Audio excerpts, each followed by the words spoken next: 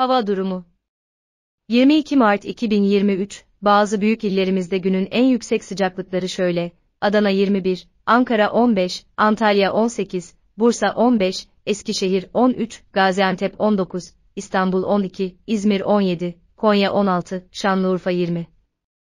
Diğer illerimizi videoda görebilirsiniz. Son dakika haberlerini kaçırmamak için takip edebilir, desteklemek için beğenebilirsiniz.